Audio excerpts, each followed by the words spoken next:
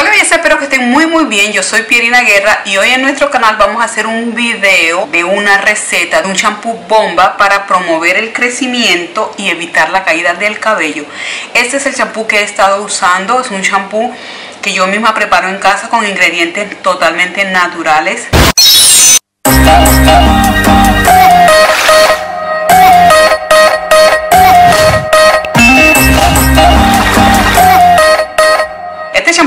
preparando desde que me corté el cabello. Yo me corté el cabello el 8 de diciembre, me lo corté con la luna y fue cuando me hice mi primer Big Chop. Em, me lo corté y me lo dejé como recto. No me gustó cómo me quedó, así que en enero volví a despuntarlo y entonces ya me lo hice en dos capas para que se me viera más volumen. Me lo corté yo misma, no fui a ningún salón de belleza, yo siempre me hago eso.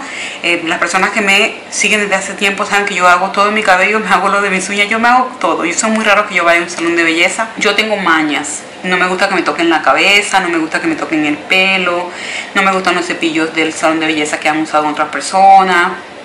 Mm, yo tengo mis cosas, ¿no? A mí me gusta hacerme mis cosas, independientemente con todo respeto a las personas que trabajen con cabello, a mí me gusta hacerme las cosas y si yo me daño el pelo, si me lo corto mal, fui yo y no... Yo me hago mis cosas, chicas. Entonces este shampoo lo he estado preparando desde diciembre y ya este se me está acabando. De hecho ya este se me está acabando, así que voy a preparar otro. En esta ocasión voy a usar este shampoo. La primera vez usé este shampoo, que es un, shampoo de 13M con bajo, eh, bajito en sal. Sabes que los shampoos le echan sal para que hagan espuma. Y este es de leche de coco con aloe vera. Y bueno, me cayó súper bien. Este es transparentico, más bien. Pero en esta ocasión voy a probar con este otro también de la misma marca, 13M. A mí me gusta esta marca, me cae bien el cabello. Y es para cabellos dañados, para recuperar cabellos dañados. Este es con aceite de macadamia. Entonces voy a utilizar este esta vez y este sí no es transparente, me di cuenta ahorita que no es transparente, es más bien blanquito. Y me di cuenta cuando lo estuve sacando, porque ya le saco un poquito, lo dejé por aquí, para poder, dejé por aquí, para poder aplicar los ingredientes que le hacen falta. Miren, es un champú que es un blanquito. Es más gruesito, es blanquito, mientras que el que uso regularmente es un champú transparente y se ve así. Bueno, ya le puse un poquito de aquel, entonces no se debe ver tan transparente. Pero se ve así. Sube. Bueno, lo voy a aplicar en la mano. Ojalá pudieran ver cómo se ven por dentro las um, los ingredientes. Esto se va a poner marrón. No sé, miren, ahí salen, ahí salen ya los... Eh, aquí hay un clavito. Aquí hay uno de los ingredientes que le voy a echar. Y se hace un poco blanquito porque le agregué un poquito de este shampoo para hacerle espacio a lo, a lo, que le voy a aplicar. Pero esto regularmente se ve transparente y es marrón marrón porque eso con el tiempo se, ah, se pone marrón. Así que sin más habladuría vamos a empezar con este video que ya se me está haciendo muy largo ya les di todas las explicaciones. Necesitamos un shampoo.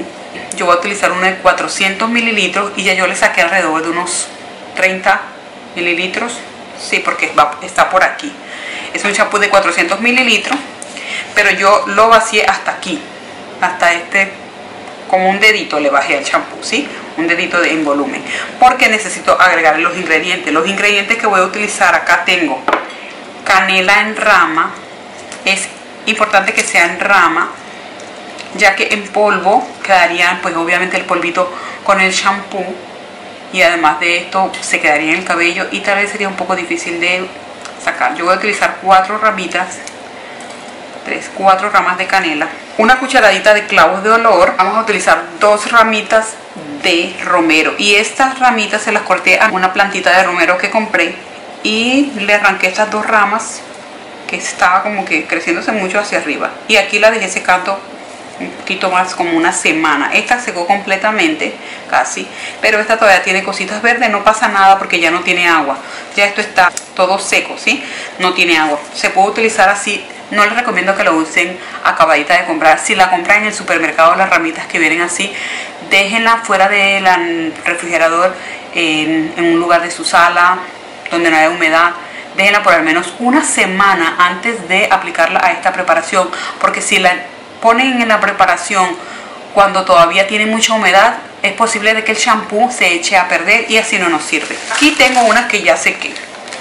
una amiga, que ella es marroquí, ella me, me trae a veces frescas, ¿no? Que ella trae del país de ella, que son muy buenas las especias allá, y me trajo esta. Miren cómo se seca. Bien, bien sequito queda. Entonces yo voy a tomar una más de esa porque yo le quiero agregar tres ramitas.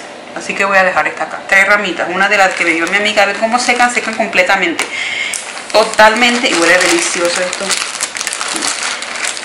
Esto se puede utilizar para cocinar por ejemplo, miren, yo dejo que se le caigan todas las hojitas, luego le quito todas las hojitas y eso yo lo muelo para cocinar con ella. ¿Por qué la muelo? Si alguna persona la utiliza así, porque no me gusta encontrarme los pedazos de romero en la comida.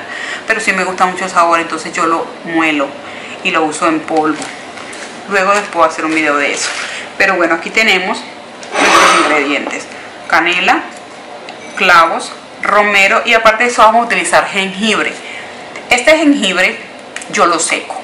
El jengibre este yo tomo un jengibre normal y lo corto en rebanaditas muy delgaditas, muy muy delgaditas. Luego en una tablita de picar o en un plato pongo las, las ramitas así, las, em, las rebanaditas y lo pongo a secar.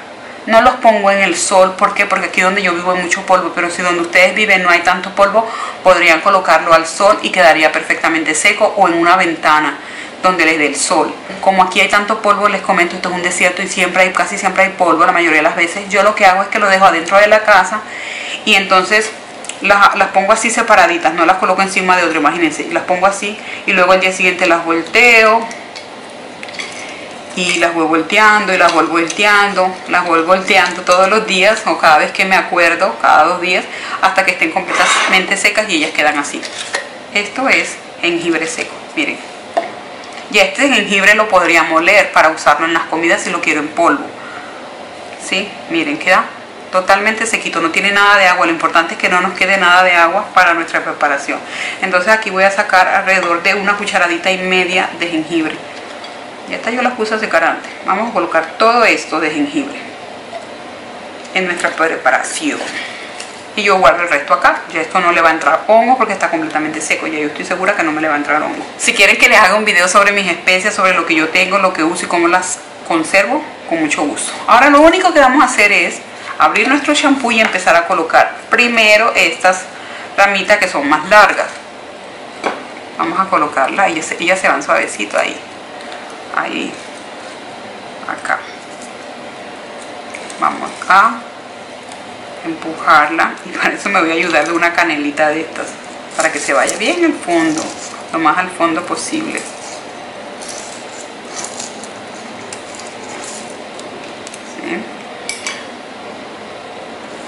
Esta la voy a partir para asegurarme de que si va a entrar completamente. Esto es súper fácil, súper fácil, súper fácil. Esto no lo voy a botar, también se lo voy a colocar ahí estos pedacitos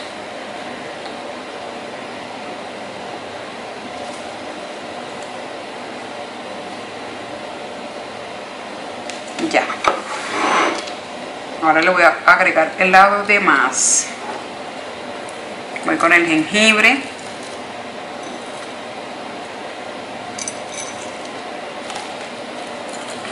Yo sé que pueden conseguir champús que son para crecimiento y que tienen no sé qué, que tienen esto y lo otro. Sí, no voy a decir que no tengan que no tengan lo que dicen decir, pero así yo me aseguro de que le estoy colocando todo lo que yo le quiero colocar. Voy con los clavos que esto es natural, secado en mi casa. Los clavos estos también los puse a secar un poquito. Vamos a colocar esto hasta abajo. Si me han preguntado en los videos que tenía el cabello bonito, porque es que se me está recuperando. Gracias a Dios se me está recuperando. De verdad yo les recomiendo esto porque yo pienso que a mí esto me está ayudando muchísimo. Miren, la canela y esto fue el último que le agregamos, ya todo se fue ahora me aseguro de que esté bien hundido ahí está todo que esté cubriendo yo acá puedo ver que está cubierto miren yo creo que ustedes alcanzan a ver. Que aquí hay como un pedacito de canela que se quiere salir. Vamos a guardarlo ahí adentro. Y ya, aquí está, miren, ahí se alcanza a ver.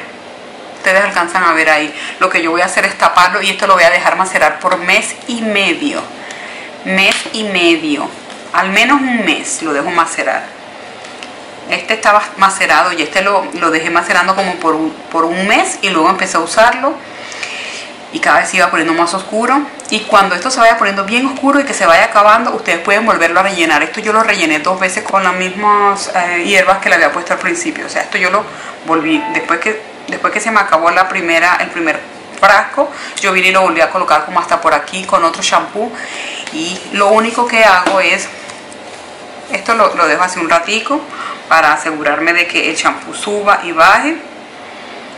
Luego lo dejo así y lo guardo en mi baño debajo de la de la mamá nos lo guardo ahí. Hay un mueblecito yo ahí lo guardo. Así como guardo el de cebolla y lo guardo en un lugar oscuro o en mi closet.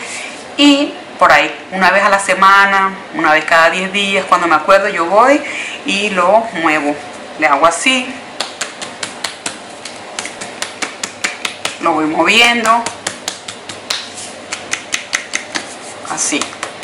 Lo volteo como para asegurarme de que se está mezclando. Y si se está mezclando ustedes se dan cuenta porque ahorita la tapa está llena de champú y se ve diferente por dentro miren.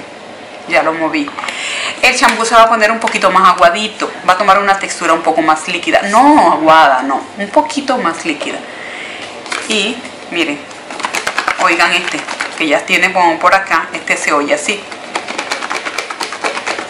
Pueden hacer como unas dos veces más con el mismo. Digamos que ustedes se lavaron el cabello hoy entonces vienen y le agregan la mitad del otro shampoo nuevo, lo mueven, lo mueven, lo mueven, lo guardan y ya después lo pueden seguir usando. Y otra vez cuando se vaya acabando, pueden volver a colocar el resto del shampoo de 400 mililitros que habían comprado y lo ponen acá, o sea que prácticamente con dos shampoos. Miren. Ahora les voy a mostrar. Yo me voy a lavar el pelo, entonces lo que hago es que, miren, esto huele niñas, esto huele delicioso. Y se ve así, marroncito marroncito porque ya yo lo rellené con el poquito que saqué de este.